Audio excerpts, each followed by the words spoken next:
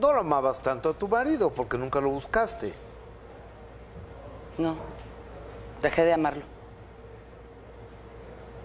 ¿Qué te hizo dejar de amar, de amar a un hombre que te dio dos hijos? ¿O Me que le diste hizo- dos hijos tú él? ¿no? Sí, dejar de amarlo, darme cuenta que era drogadicto y yo no ni sabía. O sea, yo vivía en mi cuento de Cenicienta y el esposo abnegado. O sea, era la más feliz. Ser mamá era la oportunidad de dar y ser toda la mamá que no tuve. Y ya voy a llorar, güey. Entonces, me valía el mundo. O sea, yo quería a mis hijitos que, que nunca me muriera. Ese fue mi primer pacto con Dios. Espérame a que, a que verlos crecer. Y, y los tenía en los brazos y decía, ¿qué voy a hacer yo con este pedazo de vida? Y veía a este hombre muy agresivo. Cada día regresaba peor del antro. Llegaba a las 7 de la mañana. No había que molestarlo. Empecé a ver que sus pupilas, cuando me decía que estaba muy angustiado, se hacían así. Se dilataban. Pues, me, me empezaron a llegar muchos mensajes. Te juro por mis hijos que yo no conocía las drogas. Ni nunca en mi vida me metí nada. Entonces, ¿Nunca te has drogado? no, me probé la marihuana.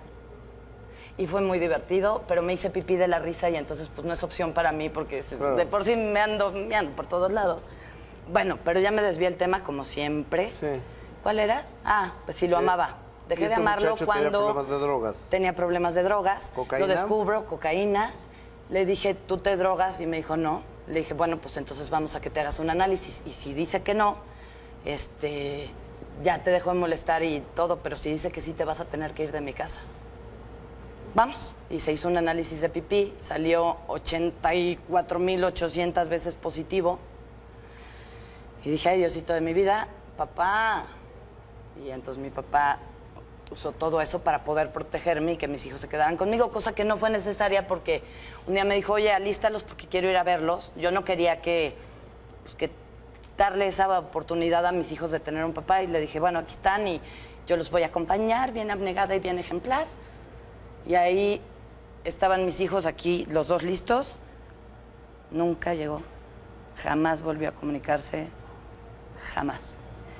Entonces dije, Diosito, tú te encargas, dame las fuerzas de, de- de saber que no tienen papá, pero que tienen una chingada madre que los va a enseñar como me Claro. enseñó a mí mi papá. Por supuesto. ¿no? Entonces ya tenía la parte de hombre bien enseñada por mi papá y la parte mujer que estaba descubriendo al ser mamá, Claro. que fue muy Ok. lindo.